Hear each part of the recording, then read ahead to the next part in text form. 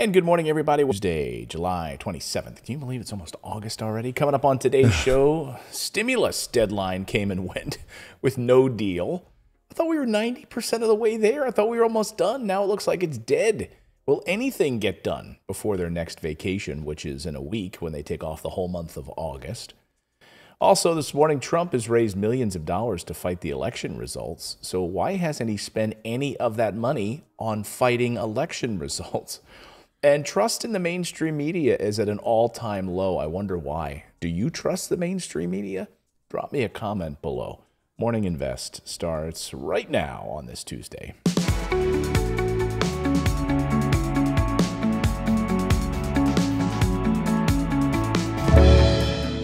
And good morning, everybody. Welcome in. How you doing, my friend? David's in the booth. Good morning. Yeah, I haven't trusted the mainstream media for probably 15, 20 years. I think I've stopped watching that. I can't even remember. Probably, maybe even longer than that. Like, can you think of a time? Like, do you even watch? You know, it was the other day I found a clip. I needed a clip for something, and uh, it was of, of like the wildfires, and uh, it's like Norah O'Donnell or whatever the heck her name is on like the CBS Evening News. Like, who watches like the CBS Evening News? Who who tunes in to like Lester Holt? I mean, I guess millions still do, but they're like what eighty years old now. Yeah, no, I mean, I I get my I, I get clips and stuff from YouTube, but I don't specifically go to any channel and watch any news. None of it, because it's all like you're not getting news. You're getting opinion, and most of the people giving the opinion, I don't like them. Their personalities. Right. Yeah, it's all just uh, it's all just a joke. It's all just a joke. So we'll talk about that on the show today. Coming up, uh, pretty busy, pretty busy news day.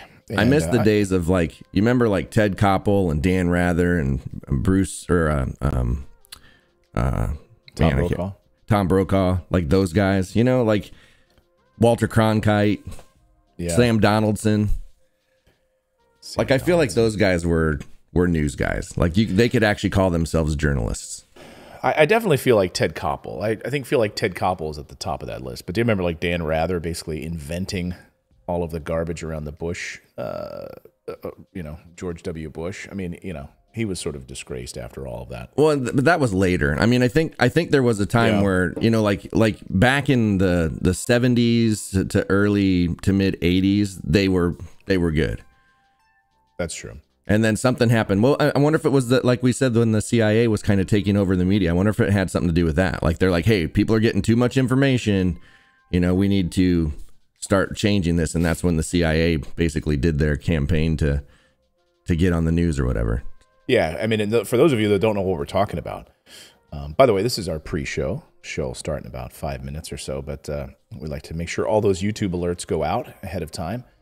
Um, yeah, the CIA, uh, you know, back in the day, the military um, had infiltrated news organizations, and it was and uh, and it, it got found out. You know, the military had basically you know went in and uh, infiltrated to sort of spread disinformation, um, propaganda in media organizations, and it was uncovered.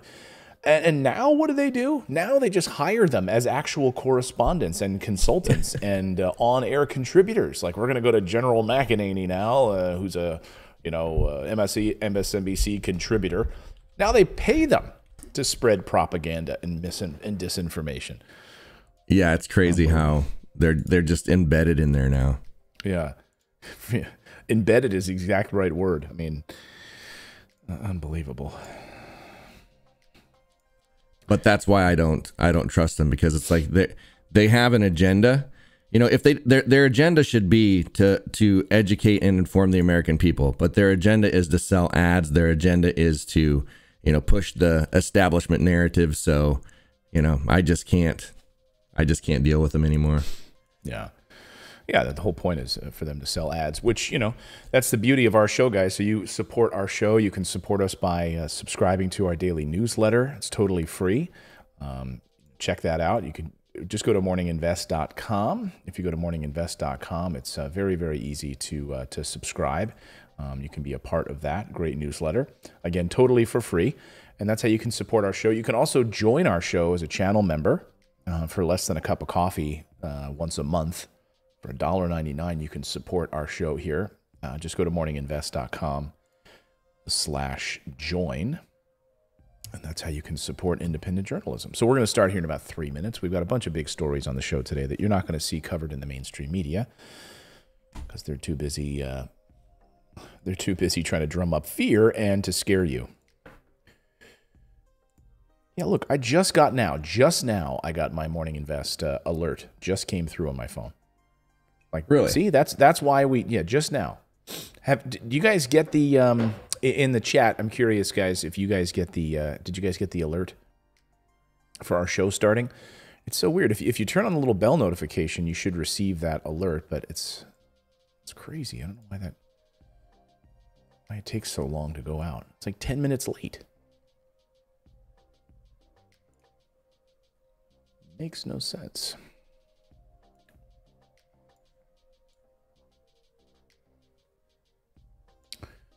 Sure, this is all set up over here. Thank you for your super chat. Hey, Jim Schultz became a supporter of the show, new channel member. Thank you so much, Jim. Every morning. Jolene, you didn't get an alert? You have to turn on that little bell notification. It's very important. Jolene. Jolene. Jolene.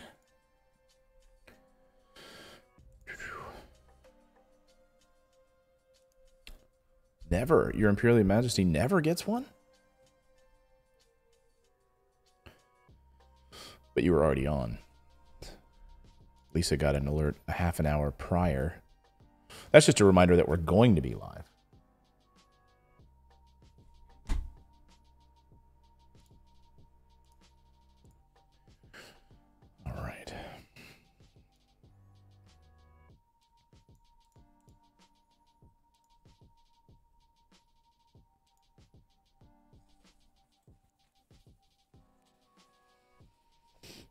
I feel really good today. I feel like wow, I've actually um, got. I I feel like organized. That's which awesome. is- which is a you know it's it's rare for me to feel that way. I'm going through so many stories. I'm writing you know the newsletter, and, and I just and then my wife is not feeling well today, and she's under the weather, and she's got whatever my little daughter, my little girl had like cough, and so she's out of commission, and it's just just like finally got everything done. Like holy smacks, I got everything done before the show. Wow. Kiwi investor says my alert was on time. Yeah, it's, it goes out in batches. So some people Yeah. get it on time, some people get it a little bit later. If you'd like to support our show, you can always support us, even if you don't want to become a channel member. That's fine. Uh, you know, you don't want to subscribe, whatever you want to do. But if you know you want to share our show with, uh, put it up on Facebook or share with a family member that you think needs to, you know, learn about stories that are not being covered in the mainstream media, covering progressive stories that you're not going to see anywhere else. That's one way you can support the show if you'd be so inclined. All right. All right, showtime. Showtime. Showtime. All right, everybody. Coming up on today's show, the stimulus deadline came and went with no deal. Will they get anything done before their next vacation, which starts in a week? They'll be gone the whole month of August, by the way, because Congress deserves some time off. When millions of Americans only get, uh, you know, like one week off if they're lucky, they get like four months off. President Trump has raised millions of dollars, almost a hundred million dollars, to fight what he called the fraudulent election results with zero evidence. So, why hasn't he spent any of that money on actually fighting election results? We'll tell you where this money is actually going. It's despicable. I warned you about it months ago, by the way. Hope you didn't donate to him. And trust in the mainstream media is at an all time low. I wonder why. Let me know if you trust the mainstream media. Drop us a comment. Maybe we can put up a poll during today's show. What do you think? We, we have the poll feature we can now do inside of our chat. So we can, we'll do that during the show. Morning Invest on this, uh, on this Tuesday, July 27th, starts right now.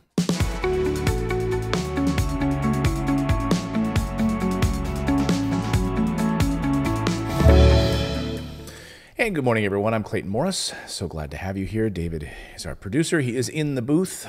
Grover is running around here somewhere, laying on a. Did you get Clarice back, by the way? Not yet. I'm still waiting to hear from him. Um, So I, I'm I'm like nervous because I don't know the situation. I don't know if she's already up for adoption, and if like I don't know. I'm trying.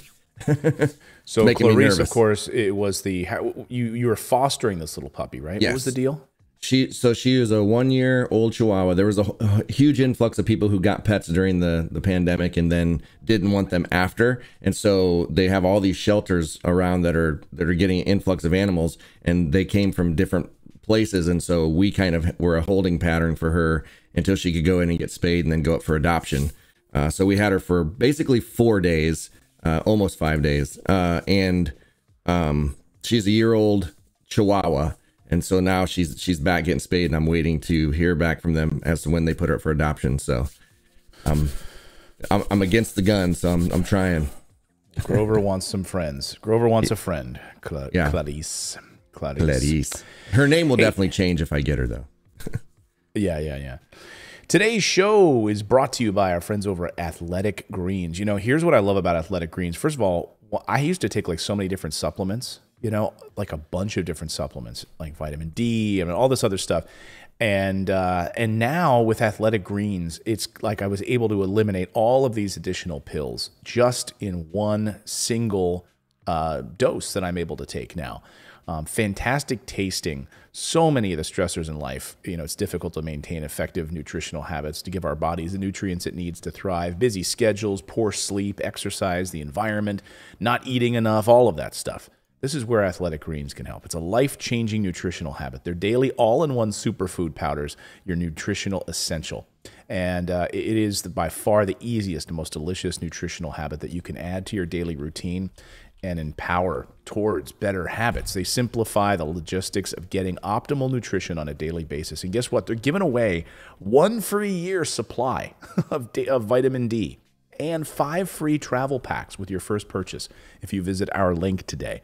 Athleticgreens.com slash invest. That's all you need to do.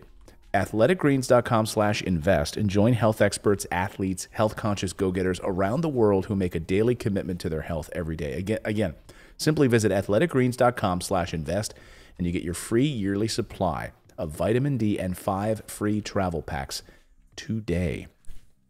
Love it. Love it. We got to get you on this too. Yeah. On the Athletic Greens. One tasty scoop contains 75 vitamins, minerals, and whole food sourced ingredients, including a multivitamin, multi-mineral, probiotic, green superfood, uh, superfood blend, and more that all work together to fill the nutritional gaps in our diet. Really great stuff. So our thanks to them for supporting Morning Invest here. All right, we've got a lot of news to get to today. We've got a lot of news to get to today, and uh, I want to get right to it because you know we had some big stimulus news. So let's start with the stimulus news on the rundown this morning. By the way, you like our new rundown? It's about it's about a week old now. I'm really getting the hang of it. I really like it. I noticed you changed the date today. I was I had to go in there yesterday and do it. Yeah, I was like, oh, does that do it automatically? Because I, I didn't uh, I didn't notice. But uh, Yeah, no I worries. I- I, I made it so we can put we could put something up there or the date or you could put like you know a headline whatever you want up there. Yeah. So I had to switch it today because I was like, oh, I, mean, I guess it doesn't auto update. I checked it earlier. So, anyway, first on the rundown. And these are the stories that are coming up on the show. These are the five big stories we're going to cover here on the show. And so, number one on the list is our stimulus update. So, it looks like that bipartisan infrastructure negotiations are sadly ready to fall apart. Uh, I know, I know, it's shocking. I thought we were close to a deal, though, right? But no, it looks like it's all about to fall apart. Look at sad, look at sad Rob Portman. Womp, How come I knew this was coming? Womp womp. Because It's you like the- live you live in America? It's the fool me once, shame on you, fool me twice, shame on me kind of thing. Like I, they, they're not fooling me anymore. Like I've been fooled. They've been fooling us for, you know, two decades. Well, it's like Bush said, right? Fool me once. You can't can't fool me twice. Well, I'm not going to get fooled again. Whatever. So look at sad, sad Rob Portman. He looks like sad Affleck, Ben Affleck. Remember that uh, viral video of him? Uh, so anyway, this is a it's going to fall apart. I mean, and this is exactly where we're at right now. It's all falling apart um, as this deadline has passed. Either this is about to turn around and they're suddenly going to get a deal, or as the late great John McCain once said, it's always darkest right before it goes pitch black. So here's where things stand right now.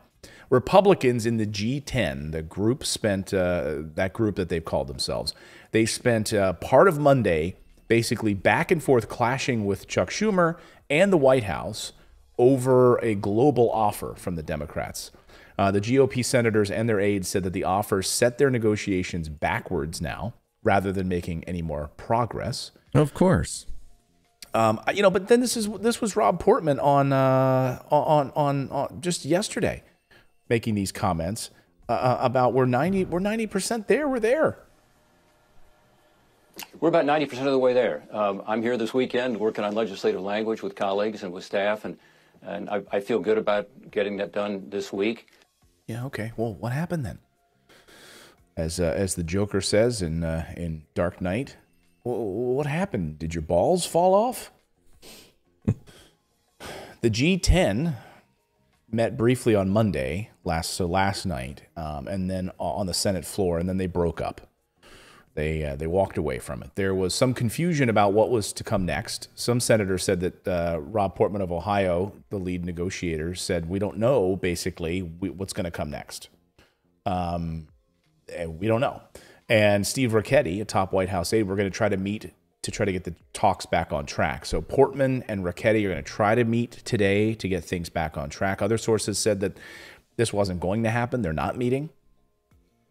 So, and the normally sort of low key Rob Portman, who's uh, been working on this for weeks, seemed frustrated with reporter questions that everything was falling apart. Um, this this photo was taken literally in the hall after the, you know he said I, I just spent all day talking to Democrats and Republicans and we're, and we're making progress, but then then later in the night this is what it looked like. He's frustrated with reporter questions suggesting that everything was falling apart, saying he'd been talking to senators all day. I, I don't know what your impatience is. Portman told uh, CNN's Manu Raju, he said, We're trying to get something serious done here. It's going to affect you and your kids and your future. Portman even offered to bet Raju over at CNN that the Ohio Republican would be able to notch a deal and have it pass the Senate. So he, he's well, betting now with a reporter. He's betting with reporters. And you know what's going to happen? what's going to happen is they're going to come to this agreement and everybody's going to go and everybody's going to be like, oh, yeah, okay, we got it. We got it. And then it's going to be like Nancy Pelosi will block it or something. They're going to be like, now they can blame the Democrats. Mm-hmm. So, the, and then she'll be able to come out publicly and say, we just didn't like what was in it. It wasn't helping the people. And then it's going to go back and it's just going to be this back and forth. I mean, we, we've seen this play out how many times now? Uh, about five times. Oh yeah, and then what what'll happen is they'll say we, we we tried to work with Republicans, we couldn't get it done, so we're going to go it and do it on our own, and uh, and this was all theater. So if the so we literally while people in I, today's the twenty seventh, right? Today's the twenty seventh of July. In just a few days, millions of people will face an eviction moratorium with no help in sight. But no you know, you know what's funny though is here's what they do. Here's here's how it happens they come out, this is going to be a $3 trillion bill. We're going to get this done. They let the Republicans whittle it down to nothing. They blame them. They blame the Democrats because they couldn't get anything done. Then the Democrats come in and say, okay, well, we're going to do it with, uh, you know, our way. Uh, but they go ahead and do the dwindled down number and not mm-hmm. the original number that they wanted. So it's almost like, you know, this is planned out. It's like we get them to, to whittle it down so we don't have to do the six trillion, but we still look like the heroes and we still look like we beat the Republicans because, you know, we caved and, and, and got it done, but at the number that they got it to, not the original number. Yeah. And, you know, we should mention to that point, I mean, President Trump wanted a, like 1.5 million, a trillion dollar infrastructure deal. And so this is five, the Republicans from the Trump party came forward with a $500 billion deal. Over five years. Over five years. Nowhere close to what Trump even wanted. So, but of course, at the heart of all of this is Joe Manchin, one of the key Democrats in, in this, Democratic moderate, as people will call him, had a warning for Chuck Schumer. He, he sent a warning yesterday and the White House and all his progressive colleagues. He said, quote, I would say if the bipartisan infrastructure deal falls apart, everything falls apart, end quote. So if he can't work with his Republicans, they can't provide this watered down version and it falls apart. I am not going to go along with a reconciliation package vote where we discount and eliminate any Republican involvement. I'm not going to do it. And, and these are not. the same Democrats, the exact same Democrats that were like, well, you know what? We don't need. We're if we win the Georgia runoff, if we win this, we've got the Senate, we got the House. We don't need the Republicans. We can do all this stuff. And then it's like, well, where's that at? Well, it's not. Yeah, it's not going to happen. And these are the same Democrats who aren't. We should, we should, we should just stop calling them Democrats at all. I mean, they are corporate Democrats, but just as the same Democrat, Joe Manchin, went to Texas for fundraisers hosted by several GOP donors. Like Republicans are raising money for the guy. Should you trust him at all? Well, list me any Democrats that aren't bought and paid for, or any Republican. Name me any politician that's not. That's a very I, short list. There I might be five people on it. I can't think of any. Yeah.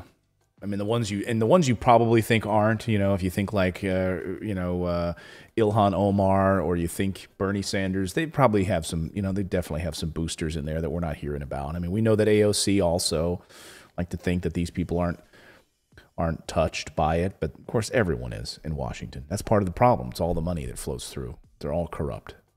You know, they're all corrupt. So that's your update on stimulus today. Unfortunately, so we'll see. Um, if it falls apart, then as Joe Manchin says, everything falls apart, unfortunately. Next up on the rundown China's vaccine issues. So, this really bothers me. We've been talking about this here on the show for a number of weeks now. Why are we not sharing vaccine information with the rest of the world? Why are we not opening this up so that other people around the world can be helped, saved, save lives, right? Well, we now have this story out of China which shows that the Sinovac uh, COVID 19 shot, the one that they've been doling out in China, uh, basically disappears from the body after six months. Antibodies triggered by the Sinovac biotech COVID 19 vaccine declined below a key threshold from around six months after a second dose. After a second dose, it's, elim- it's like disappearing from your body your body's ability to fight off COVID is like, well, we're back to no, we're back to where we were before without taking this crappy vaccine. We know that their vaccine is not anywhere nearly as effective as the ones in the United States. And yet, this is the area of the world that, of course, where this thing came out of, and one of the most populous areas in the world.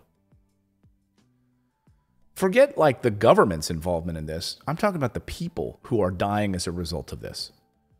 Chinese researchers reported the findings from a study of blood samples from healthy adults aged 18 to 59 in a paper that was published on Sunday. Among participants who received two doses in China, two to f- or four weeks apart, only 16% and 35% respectively still had any of the neutralizing antibodies in their body after the threshold level of six months after the second shot.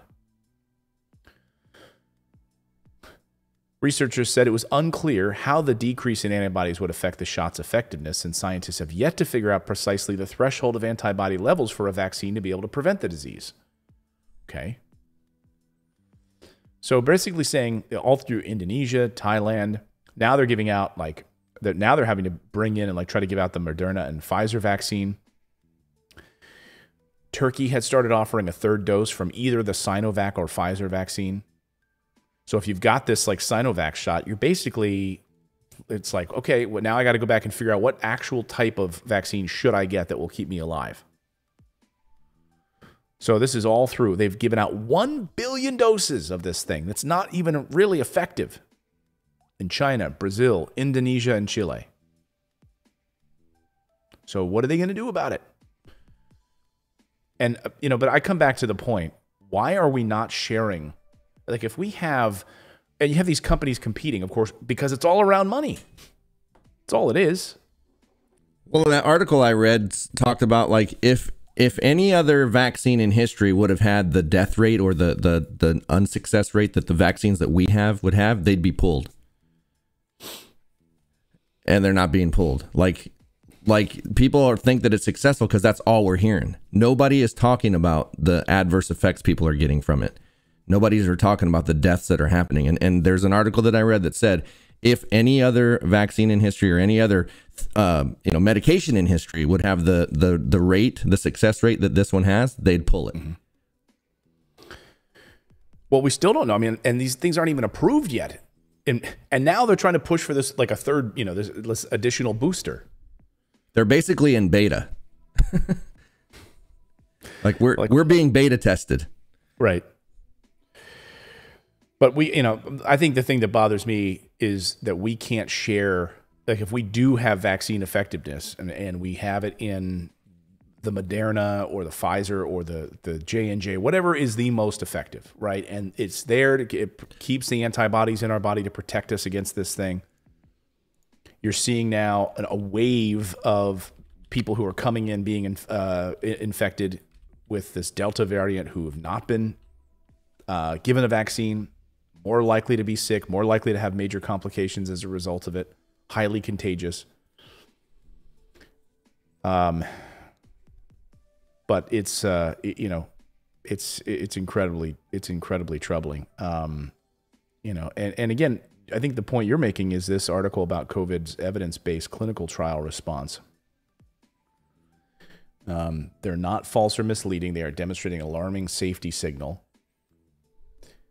Um, you know, do we have like these are people who have received vaccines, and these are this is you know this is where this data is coming from. I'll link it up in the show notes. Well, and that's the thing. It's like it's like they they bypass so much uh, it, it, that they would normally do with a with trials and stuff for these things. And the thing is, like, so we're basically the guinea pigs. Like we are the trials, and you know that that based on the people that have died and the and and the like over a million people in this article have had very bad adverse effects. Eric clapton himself lost the use of his hands and feet for two weeks and he was scared to death that he was going to not be able to play guitar ever again. And now he's like saying he won't play concerts if they require people to be vaccines because he he thought he you know he went along he did it and uh like had burning sensation couldn't use his hands and uh, therefore could not play guitar. Yeah, and so this question about young people now we're pushing towards this like 12 year old level, and I mean, you know, and so even in this piece it says like vaccines are particularly contraindicated if you've already been infected with COVID 19 and you've got these natural antibodies in your body, and you're you know, under the age of 20. For these people, I would say no, no, no. That's what this this piece is saying.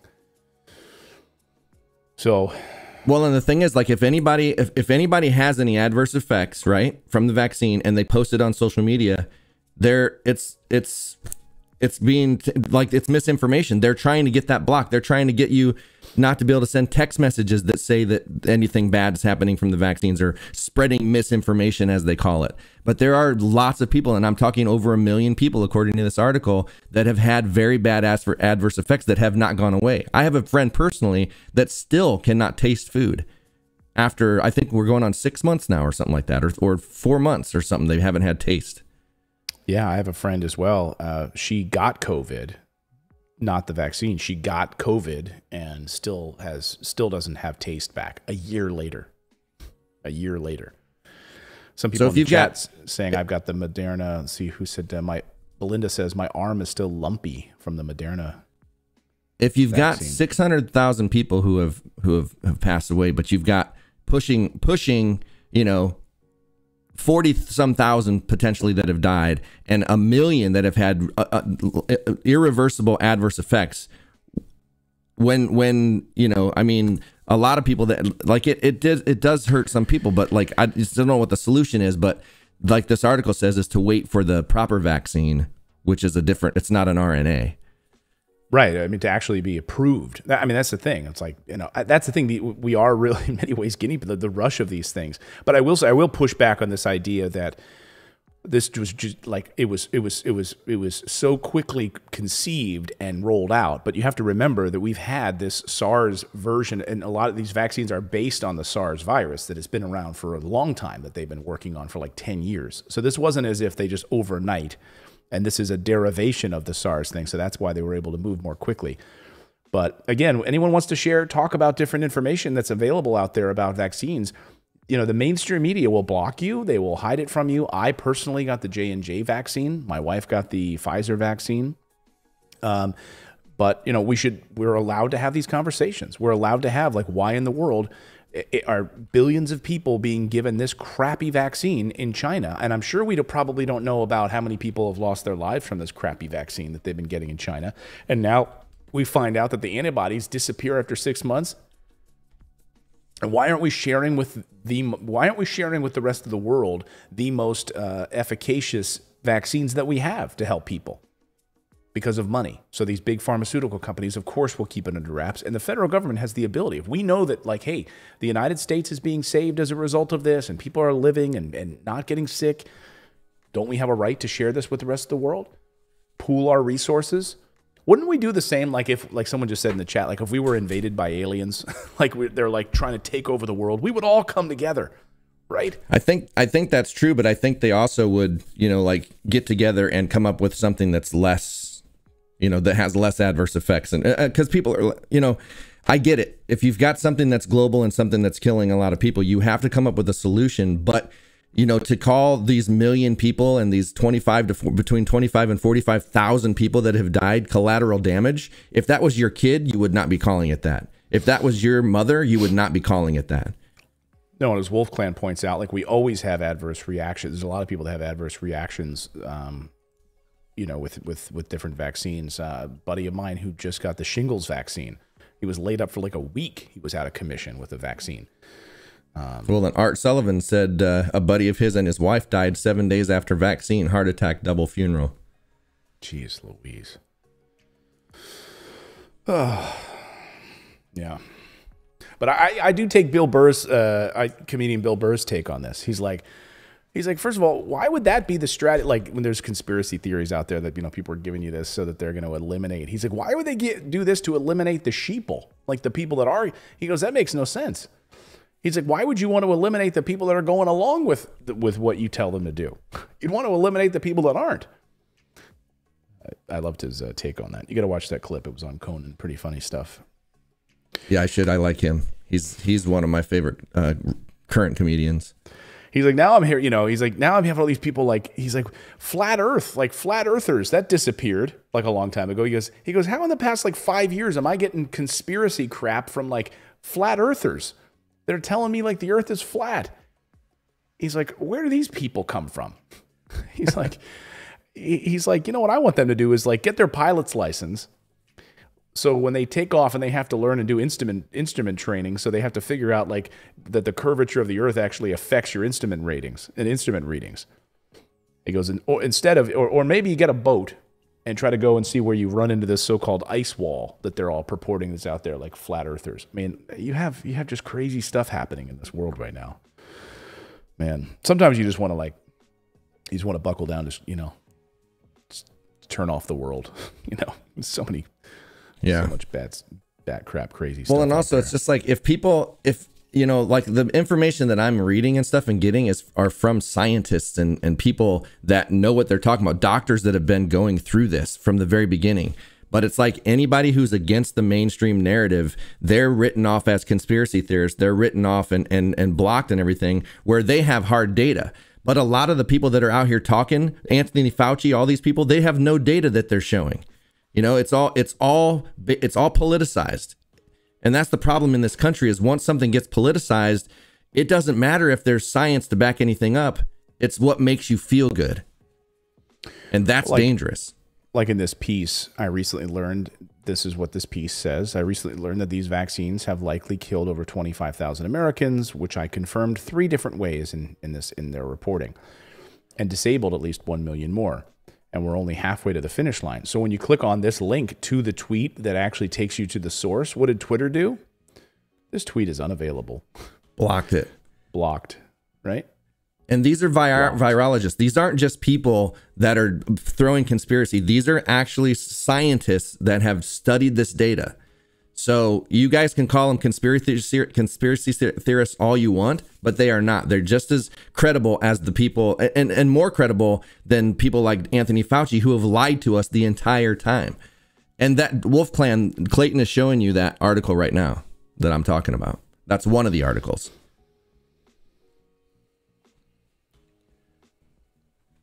Yeah.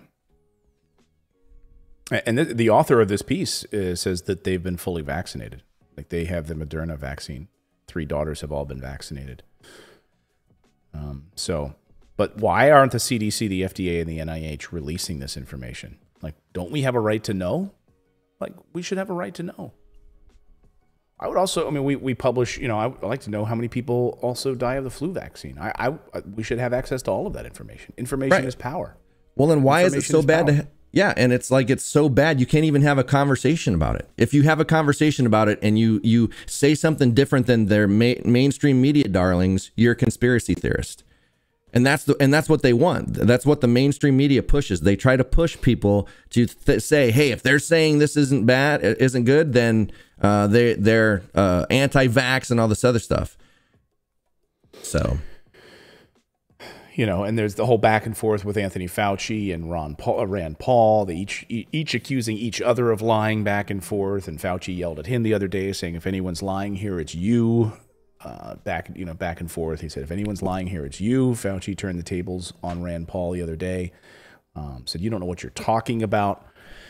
Um, yeah, well, he's been he's been lying even well before this. Like he's he's he lied about AIDS and HIV and stuff. I mean, that guy is a a pathological liar and has been during his career. And the thing is, he said that we didn't need masks. Then he said we did, and then he said he was saying that because he didn't want masks to not be available for emergency workers. But if that were the case, and he was lying just to save masks, he could have told people to make them from home themselves. Like he could have done things if that were the case to to to tell people, hey, you still want to get masks, but he, like I said, he's been back and forth. There's evidence, hard evidence, that he funded gain of research, uh, and he's saying that what they did wasn't gain of research uh, or gain of function research, which is a lie. So you guys can go ahead and trust him if you want, but he is a pathological liar. And CNN is pointing out, of course, you know, did Fauci say not to wear masks? Evidence. While Fauci, uh, along with several other U.S. health leaders, initially advised people not to wear masks. Fauci later said that he was concerned that there wouldn't be enough protective equipment for healthcare workers, which I never believed that for a second. No, I mean, and you could have said if you can make your own though, you can make your own right. out of a t-shirt, you can make your own out of this. Like they could have, have given you a solution instead of saying that if that was going to save lives. Yeah. Sherry Cher Marie says, "I trust Dr. Fauci. I don't fall for some of this conspiracy stuff." It's not uh, conspiracy; it's fact. I mean, this is what he said. He initially told people not to wear masks. This is on CNN, and of all places to actually have have like. Um, and then Jim Schultz says, "I trust Fauci with my life." Others say uh, Rand Paul is an idiot. Karen says, "Back up your statement with facts." He just did. He's showing you exactly what Fauci said. That is a fact. He he's lied about funding gain of research, a gain of function research, like flat out lied to Congress. And if you say you trust the science, the science is showing other things, but the science that is actually true is being hidden. Spiceful, David, it's a fact, is what conspiracy theorists say. Okay, whatever. uh, hey, we're having a good discussion here. Where are you going to yeah. see this anywhere else? Let's, you know, drop me a comment. Let me know what you think about this. We've got other stuff to talk about, other facts to uh, to break down today. See, you know, the thing is, you're not growing unless you're uncomfortable, and that's the thing. You got to be uncomfortable. If you're uncomfortable, then you're growing and that's how you you know that's how you grow. And so pushing back on some of these like you know these i just want to know like why don't we hear about these numbers? Why don't we hear about any of this stuff? Why are some states not even reporting numbers? Why are things being kept from us? We should always be questioning that. If we have the numbers and data that's how i make my decisions. Like give me the numbers. But i'm well, always skeptical like why a government agency hides numbers like, why are you exactly. hiding these numbers? They hide the numbers, and then if anybody comes out with the numbers, that's like, so if you're a Democrat and a Republican comes out with the numbers, you can't believe it because they're a Republican, you know, or or or this or that. Like, hey, this person has information, but oh man, they're a Republican. Yep, they're a liar. Like everybody in here ripping on Rand Paul because he's a Republican more than the substance of what that that was all about. Rand Paul was 100% correct in that questioning that Fauci's jumping around trying to say that that wasn't gain of function research when it was. He's lying. And gain of gain of function is dangerous because what they're doing is they're taking a virus that only exists in nature and they're making it so that it affects humans.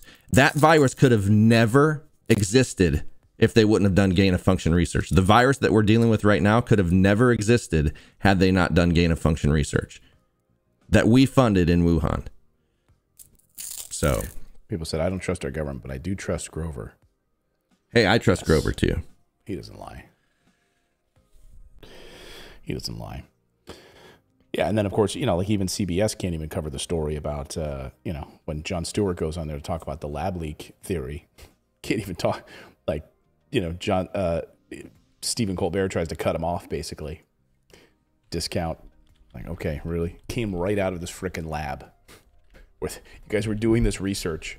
There's no evidence that it came from a freaking bat. Okay. That's to me, that's more of a conspiracy theory than the actual truth where it came from out of this freaking lab. Yeah, listen to Jon Stewart on uh, Colbert. Like, you know, it's it's so obvious. Like, there's been so many scientists that have looked at this and said, "This is there's no way this came from nature. This did not come from nature." No, it didn't. I mean, and you want to talk about Occam's razor? The spickle thinker is saying, do, do you assume a lot of stuff? Look up Occam's razor. Yeah, Occam's razor. You know, it's it's the usually the direct answer is between the you know it's the simplest points, right? And you have these guys literally working in a lab on this particular like on, on this virus in this lab.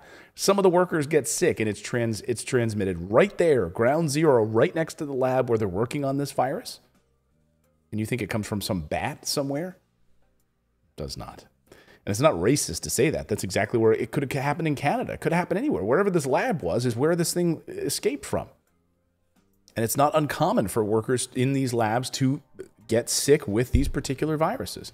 I mean, I know we've gone down a rabbit hole today on this, but uh, anyway, back to my bottom line point is if this is if this vaccine that the Chinese have been doling out to billions of people is not working, then why are we not sharing with them the vaccines that apparently are working to a greater effect? And yes, still have not been fully approved yet. And yes, still have a lot of questions around them. But the bottom line is it's all about money. It's all about making sure that these pharmaceutical companies can make as much money as possible. And now they're pushing these booster shots so they can make even more money. So we'll get booster shots for the rest of our lives. So these farm, big pharmaceutical companies can continue to make money. That's the bottom line. We got a lot more news to get to here on the show today. We're going to talk about Trump's living expenses and how much money he's raised off the backs of poor Trump supporters. And we'll tell you about that. Plus, workers' rights. Make a couple big stories on workers' rights this morning, and trust in the mainstream media is at an all time low. We'll get to that. But first, I want to tell you about our friends at Babbel. Um, if you want to learn a language, there is no better way than Babbel to learn. It's the number one selling language learning app. From ordering in restaurants or asking for directions to gaining a deeper understanding of the culture, Babbel makes the whole process of learning a new language addictively fun and easy with bite-sized little lessons that you can take, you know, like if you're waiting in line at a Starbucks for 15 minutes or whatever, just open up the app and you can do a Babbel lesson right there. They're 15-minute lessons that make it the perfect way to learn a new language on the go. Unlike the infamous language classes that you took in high school, Babbel actually designs their courses with practical real-world conversations in mind things that you'll actually use in real day life. Really, really great. Uh, you can choose from 14 different languages, including Spanish, French, Italian, German, Portuguese, etc. So many ways to learn with Babbel. In addition, lessons you can access podcasts, games, videos, stories, and even live classes. So they make it very, very simple. So here's what you're going to do. You're also going to get, if you purchase a three month Babbel subscription, you get an additional three months for free. That's six months total for the price of three. Just go to babbel.com and use the promo code INVEST. That's B A B B E L dot com, code INVEST for an extra three months free. That's babbel.com, code INVEST for an extra three months free. I appreciate them. Appreciate their support of the show. All right. So, up next on the rundown, let's talk about President Trump's um, living expenses, shall we? So, this is a pretty, uh, pretty bombshell story that uh, that that broke just a few few days ago. Um, that Trump's super PAC. I'm getting some more reporting on this now. Trump's super PAC um, has raised seventy-five million dollars all in an effort to fight the, the, the election results, to stop the steal, right? That's the whole focus of this super PAC. It's raised 75 million. And it has not used any, any of the 75 million to help finance election reviews. This is according to Washington Post. The PAC was formed after the 2020 election to help fund the Trump team's efforts to challenge the results. Yet, people who are in the PAC's finances told the news outlet that the committee has held on to much of the money, while a portion has been used to pay for some of Trump's expenses. Yes.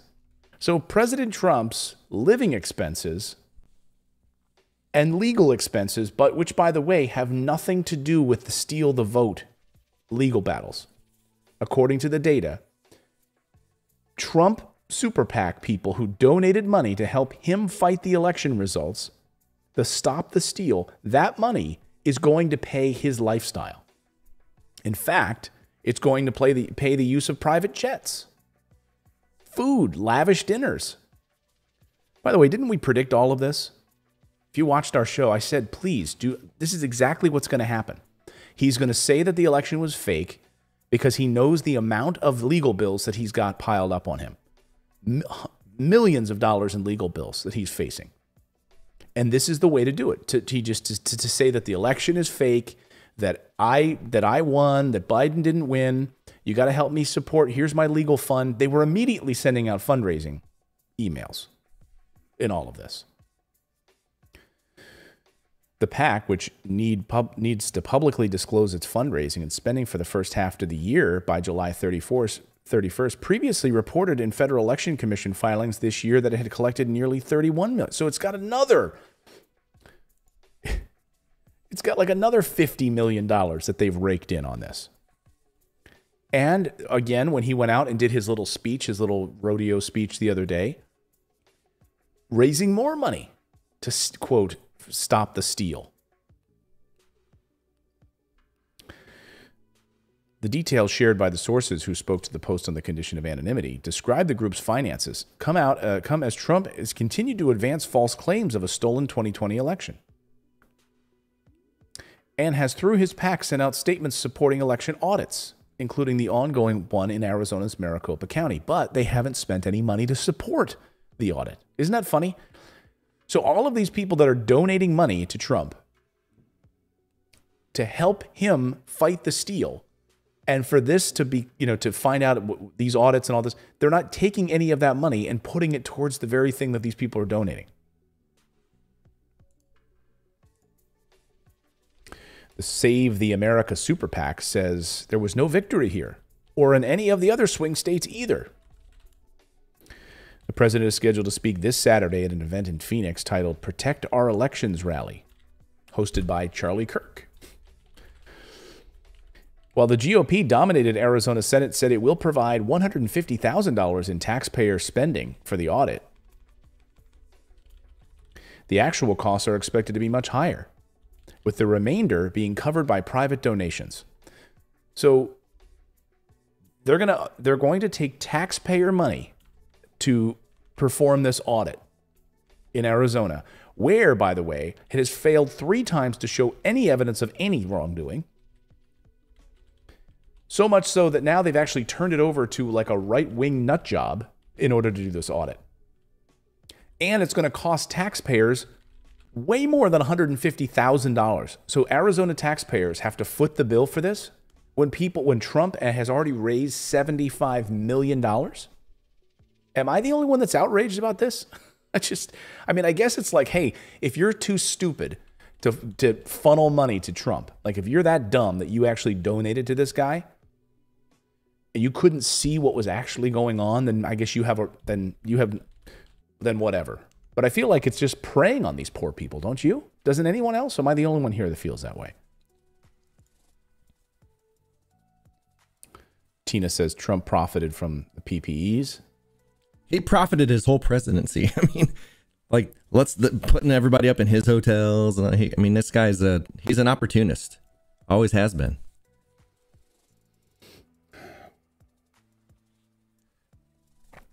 I see you guys in the chat are still talking about vaccines. We've moved on. I mean, this is infuriating. Trump, and by the way, Trump's not even responding. Trump's spokesperson, spokeswoman's not even responding for questions gotta- about it. Push your arrow forward so it's on the right oh, story. Oh, yeah. There you go.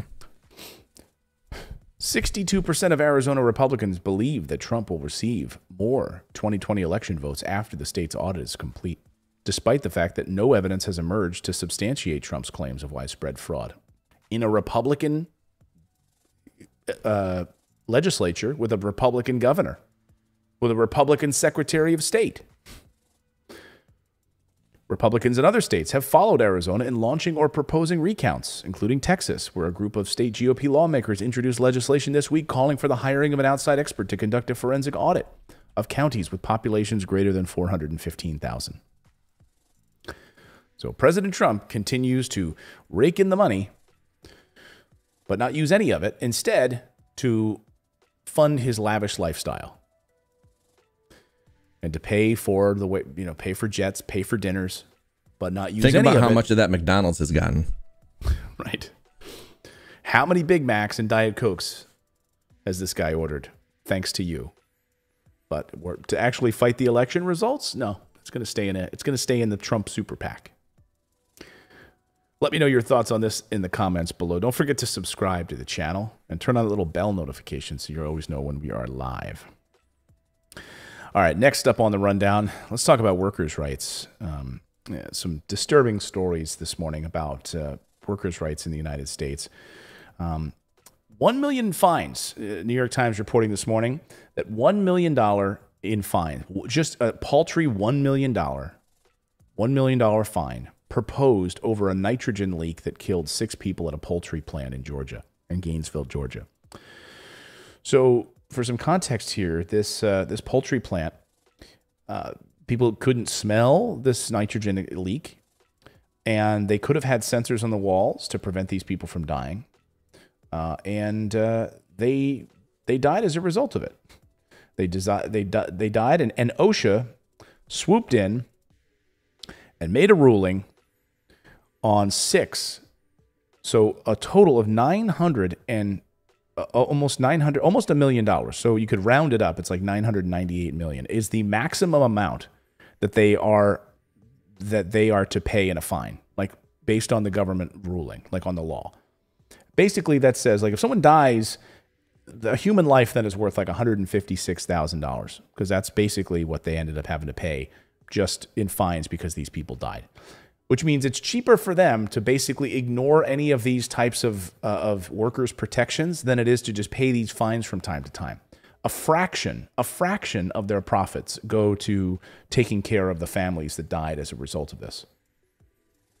Will they put anything additional? And by the way, OSHA continues. I mean, these are like the paltry little fines that OSHA hands out. This is there's a long history of OSHA uh, sending out just small fines as a result.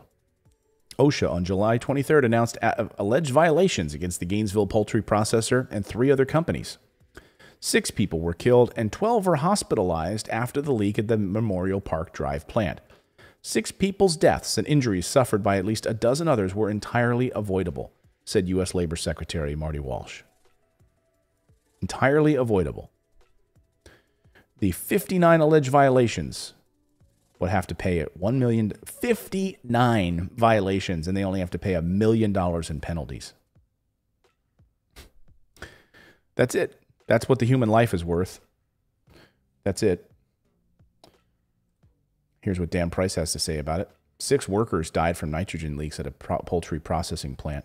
The companies responsible were fined $998,000, the maximum allowed by law. The fine amounts to less than 0.1% of their annual revenue. Our laws are designed to protect companies. Dan Bodine says, you, you would think if you can't breathe, you would get outside or something. Oxygen deprivation sensors need to be installed at these types of plants, even wineries where oxygen deprivation can happen. It happens regularly, but we don't hear about these stories. We never hear about these stories these types of stories where we have the Frito Lay plan. Remember, we were covering this story last week. and the Frito Lay workers, of course, who were. And I said on this show, we've got to boycott this. We've got to boycott Frito Lay. Don't eat that crap anymore. First of all, it's awful. A, there's a Frito Lay company just down the uh, street from my house, and I, I was kind of wondering if they're in the same situation. I drove by there yesterday, and there were no protesters, so I assume it must not be the same conditions here, or or they're just not saying anything here. Well, they they ended their strike, and this was the one in Topeka, Kansas. So this strike in Topeka, Kansas, they were they were basically begging to not have to work these so-called suicide shifts, where they would literally work a full shift, like eight hours. They would get off for four hours and then be called back to work again with no days off. They literally were going like 30, 60, 90 days with not a single day off, leading people to like literally kill themselves. So they're known as suicide shifts. Well, guess what? They've resolved their strike. After a three week strike, the Frito Lay workers in Kansas ratified a brand new contract which ends the strike. So you would think, okay, maybe they, they made some real big movements, right? And Frito Lay came to the table and really is taking care of these people, right? They're really making sure that these people are taken care of. God, after three weeks, you're, you're, demanding better wages. You're demanding to not be having to work these suicide shifts without any days off. What do they get? Breaking. Frito Lay workers in Topeka vote to ratify a two year new contract ending their three week strike. The union says the contract guarantees one day off a week and does away with the requirement to work, quote, suicide shifts. 12 hour shifts with just eight hours in between the shifts. Great. You wait to wait to Frito Lay, way to come and help your workers. You get one day off a week. And you don't have to kill yourselves over what. I mean, this is this is what's happening to the American worker. It's a wonder why people don't want to go back to work for these types of companies. Why it's so difficult to find workers because they're being screwed over by these big companies. One day off a week, that's all you get? Dan Price says, don't feel guilty about taking time off in America. Two week vacation is 3.8% of the year. And Americans get fewer guaranteed days off than any workers in any other rich country. And yet, by the way, our productivity is worse than just about any of the industrialized world. Not surprising, but way to go, Frito Lay workers. You're Frito Bandito. You're making you're making this company, by the way, record profits so Frito Lay's making record. I, I say we still boy. I mean, let's boycott these guys. Let's boycott these guys with our dollars. I do, do not do not buy Doritos. Do not buy Frito Lay's. Do not buy Cheetos, whatever the heck those are. Don't buy any of that crap. You know, what's sad is like these companies walk all over you.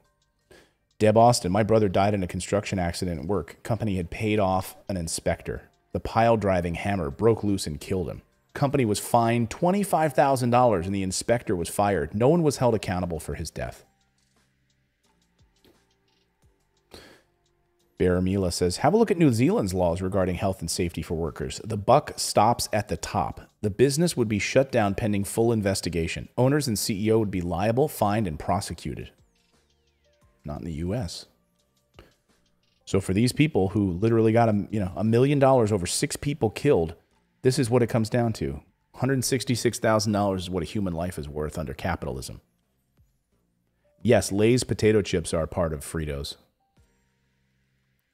Yeah, it's Frito Lay. So, um, yeah, I mean, I remember times when when my dad talk, uh, worked in a shop, and they were able to pay off OSHA to like you know, they came in to inspect and like, okay, well, we're gonna, you know, this is a problem, this is a problem. They could just pay him some money and they would not say anything.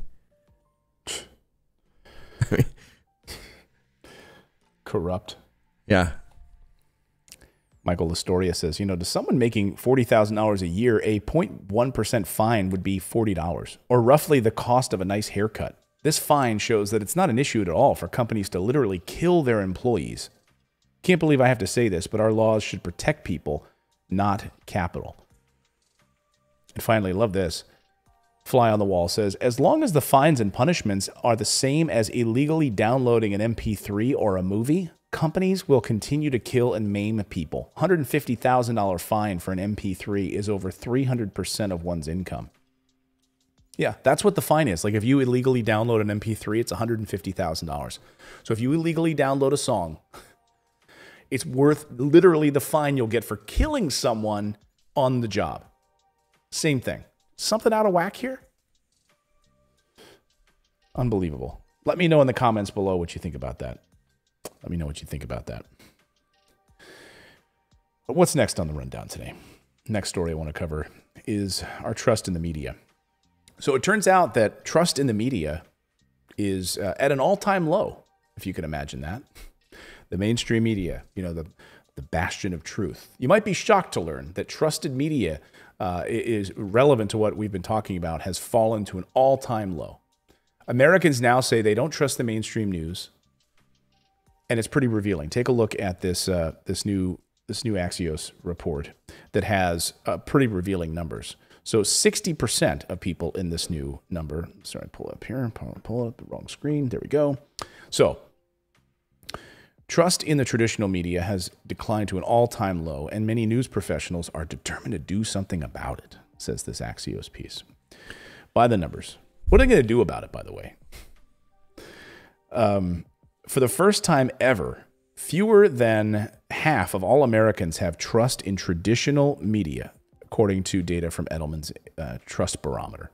56% of Americans agree with the statement that journalists and reporters are purposely trying to mislead people by saying things they know are false or gross exaggerations. But people don't believe that's the case with the vaccine, which is crazy. It's like, we don't believe the mainstream media, but we're going to believe everything they say about this. When the mainstream media, yeah, the mainstream, exactly. Or people can pick and choose what they think, you know, they want to believe, right. I guess. 58%, 58% think that most news organizations are more concerned with supporting an ideology or political position than with informing the public. Do you guys think that? I certainly do. I am surprised know, it's even that's it, that to me that seems even low. I was going to say the same things. Like 58%, like who are they polling? so I think everyone thinks. I, I don't know. I don't know who you don't think that they're they have, they're supporting a political decision? I mean, if they're if they're polling people who ha- still have rotary phones or, or I mean regular landline phones, then that number would be lower because there's a lot of people. You know, up till the day my grandmother died, she had Fox News on with the ticker at the bottom, just watching it. Tw- like every time she was awake, boom, TV was on Fox. So there's those people still do exist, but like, what's the polling data? Right. When Edelman repolled Americans after the election, the figures had deteriorated even further. 57% of Democrats trusting the media, and only 18% of Republicans trust the media. And yet these networks spend billions. Here's the thing, guys. Like I worked in, you know, fancy media, right? I worked in fancy television news. And look, they would much rather spend time, attention, and effort covering garbage stories than actually covering stories that matter to you. I mean, yesterday we talked about this story. I mean, literally, I sat, play the sound, but. All right, on to a story that's caught my attention. I don't know. I think you and I talked about this. Like this story.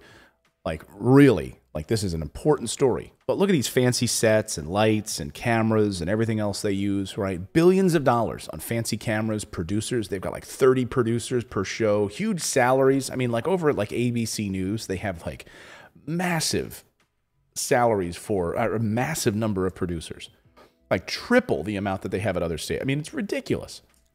Huge salaries for news anchors. They have satellite trucks and they spend their time on stories that don't matter to the American people at all.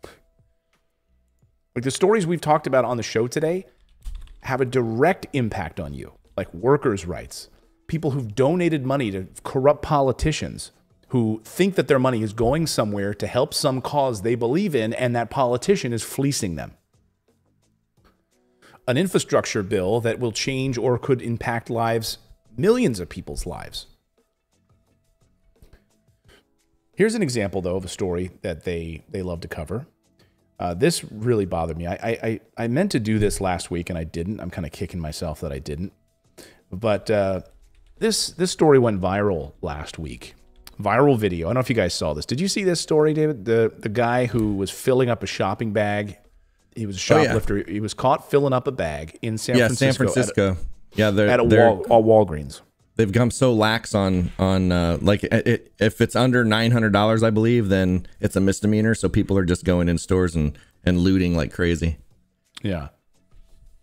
So he's there taking, you know, filling up a bag, looting, just you know, stealing stuff, right? In Walgreens, and uh, and the store security guard looks on and starts filming it, like he's just there filming it, right? Doesn't even do anything. He's just like filming it, like he for like voyeuristic purposes, right? Well, the mainstream media loves this kind of a story because they can show the video, right? It's their shocking video. They can show it on their nightly news. They can show it in news articles. It's a catchy headline. You know, store security guard looks on as man fills his bag at a grocery, st- you know, at the store, whatever, right? It's voyeuristic porn, is what it is, right? This man was arrested. Okay, by the way, no big deal, not a huge story. How does that really impact you? But by the way, this story had no fewer than 320 news articles and videos and news stations covering this, art, this, this story. 320. It's probably more by now. This one shoplifting incident. Who cares about this one guy stealing from a Walgreens? Well, guess what? That stop that shoplifting uh, story was happening while that was happening at Walgreens. There was not a single mainstream news article about a much bigger story, and that's this Walgreens story. Was forced into a four and a half million dollar settlement in a class action lawsuit filed against them by their workers, who alleged the company was stealing their wages. You can see by this fair.org piece, they were stealing their wages basically Walgreens uh, rounded down the employees' hours on their time cards. So when they would check in, it would round it down instead of up. And it would be, and it, they also required employees to pay their security checks before and after their shift without compensating them for their time worked. And they failed to pay them premium wages to employees who were denied legally required meal breaks. So they weren't paying them when they should have had a legally required meal break. And they were rounding down their paychecks. But there's no really cool viral video behind that one, Clayton. Exactly. So if there was a viral video about this, then maybe it would have been covered on the mainstream media, but they can't cover that kind of stuff. And the other reason they can't cover that kind of stuff is because Walgreens spends millions of dollars on advertising, right? So do you think they're going to cover that story? This is exactly how it works. You know, Walgreens and the newspapers spends millions of dollars on those circular ads that are inside the newspapers. Do you think the newspapers are going to cover that story? Of course not. Do you think the news stations are going to cover that story? Of course not, because they make advertising. They lie to you by excluding the real stories. I mean, it's a, to me, it's a way of lying, right? They're not they're not really outright coming out and lying, but they're basically lying. It's called lying by omission. Lying by omission, yeah. Or this week. I mean, There that's this- what that's all our mainstream media is anyway, is lying by omission. That's they they don't tell us anything of substance. It's all um, you know, sensationalized and hyped up or whatever they can find that's that they can like sensationalize or make uh they got a viral video around it or whatever. Like that's what they want because those are what people click. They want the clickbait. That's all they want. Or this week, how many of you watching right now f- knew that there was a Medicare for All rally in 40 cities across the country? Did any of you know that? Did you, David? I did, yeah, I knew that. I watched some of the live coverage with Jimmy Dore. I didn't even see that to be honest with you. But I, I mean, I- literally no mainstream media covering this story. And did you see how many people were in LA? Like it was there were a lot of people out there. A Yeah. lot. Look at all these people.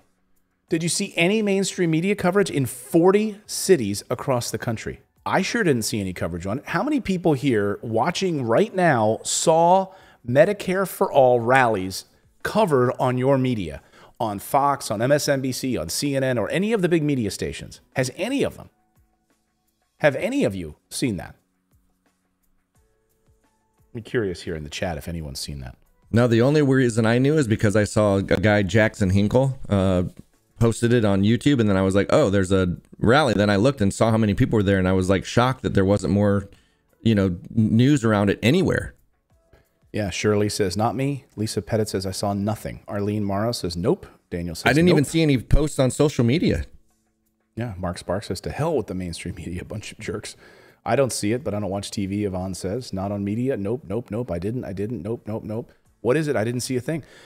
It was rallies across the country demanding Medicare for all, for all Americans, health care for all Americans. Where's the mainstream media covering this story? No, they'd much rather go out and like cover, you know, like the, the controversy over a Black Lives Matter protest or whatever, right? They'd, they'd much rather go cover that. They'd much rather go if there's if there's like cultural controversy, they can go cover that because that'll drive ratings, right? Anytime they can put a wedge between Americans, they they will cover that. But could you imagine Fox coming out and saying, "We know we're going to go live this morning to uh, to uh, downtown Los Angeles, where there's a huge protest demanding Medicare for all." I mean, no. Here's one reporter that I saw. I mean, they, one reporter. This is the only reporter I could find at this uh, WGN out of Chicago. That's Did it. they get? Uh, they didn't even put Bernie Sanders or AOC's speeches on on no. the news. No, nothing. I wonder why. Because I don't. I guess they weren't there. I guess. yeah, but there were protests outside of uh, AOC's office for Medicare for all. I didn't. See that. It's what she ran on, and she wasn't there to support. No, she ran on that. There were protests outside of her office on it. Jeez. But you know, I bring this up. I bring up the Medicare for All story because there was no coverage of it. Nothing. No coverage on the mainstream media. 40 different cities with huge rallies around demanding health care for everyone. President of the United States could have shown up, right? He could have gone to one of them. He could have used that as ballast for his ship on providing health care for the United for Americans. No, ignored, ignored, ignored. And here's the thing. If the president would have gone to that, how much more attention would it have drawn with the cameras? Ignored. But that, you know, that's the mainstream media. But I will say there is a silver lining in all of this because all of this could collapse really soon. Mainstream media is ready to fall into the ocean. I mean, we're already seeing it with the Olympic coverage from NBC, like no one's watching. Right? People are coming here to this show. You guys support this show and independent journalism. You're subscribing to this every morning. You're watching this show instead of watching that crap you're getting real news here and you're sub- for free just by subscribing to the channel. But a new study out this morning shows that the ads, you know, the advertisements that are the lifeblood of the media are completely ineffective. So all of those, you know, advertisements for my pillow and all that other crap that you see. hey, don't you make scooter. fun of the my pillow guy. it's your favorite pillow. I got to come on camera for that. That guy has more integrity in his his couch pillows than we have in our whole bodies. People, I, I hope I hope no one believes you. I hope so too. no, we're not big Mike Lindell fans around here. No. But, uh, uh, so all of those ads, that whatever you're seeing, all of them that are on cable news, a new study shows that they're wasting their money. 80% of the brands that they studied found out that they're actually losing money by placing ads on television, on cable news. Isn't that funny? So they're literally, and here's the thing, they they look at it in many ways as a loss leader. They can just throw this money up there. They're losing money. They're not. It's not being. They're not generating profits as a result of all of this advertising money that they're throwing up on MSNBC and CNN. It's losing for them. It's losing money. Shocking, I know. So there is a silver lining in all of this that perhaps mainstream media will go by the, you know, go the way of the dodo bird uh, in the next few years, especially as ad revenue dries up. What are they going to do? You know, and here's the thing: NBC is starting a new like, um, no, no, CNN is starting a new streaming service. Did you hear about this? Oh, geez. Who's going to watch that crap? Like, so wait a minute. You're telling me people are tuning away from your on air cable news version of CNN and they're going to come over and watch your crappy streaming version of CNN where you're going to have. Well, you know why? Because somebody at the top is convinced that because Disney Plus and Netflix and all this is doing good, that it's because they're not on an app that they're failing. they right, don't think exactly. it's because of their news. Yeah. So because we're not on a streaming app, that so do you?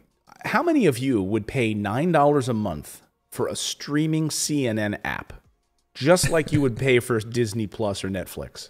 I wouldn't download a free one. I literally wouldn't down. Yeah, exactly. I would not download a free CNN app. oh, I love it.